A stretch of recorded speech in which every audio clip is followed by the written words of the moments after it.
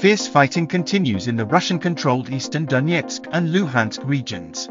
Ukraine's Deputy Defense Minister Hanna Maliar said Russian forces were trying to encircle the city of Bakhmut in the Donetsk region.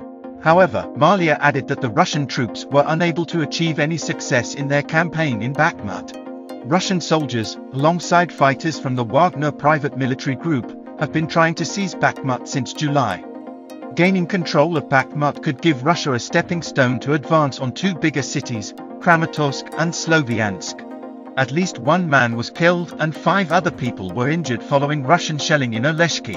Sumy Oblast Governor Dmytro Zhyvytskyi reported that Russian troops shelled border communities of the region on December 27.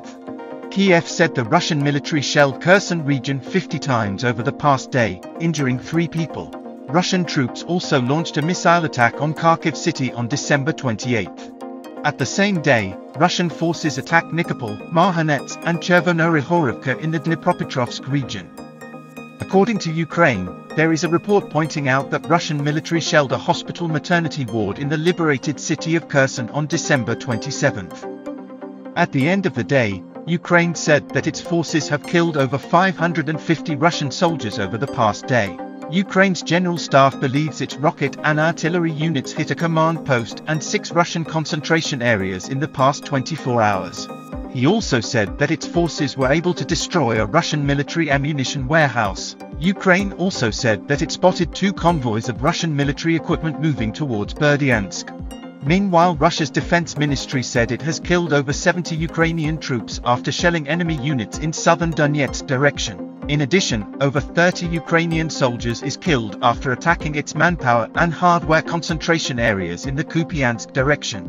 Ukrainian forces appear to have edged closer to recapturing the key Russian-controlled city of Kreminna in the Luhansk region as heavy fighting continued in the east and south of the country. Luhansk Regional Governor Serhiy Haidai said heavy battles were underway around the city on December 27. Fighters in parts of the city controlled by Russian command were forced to retreat to Rubizhne, a town a few miles to the southeast, as a result of Ukrainian military pressure.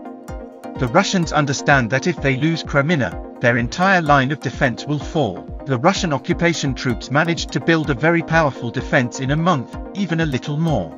They are bringing a huge amount of reserves and equipment. They are constantly renewing their forces.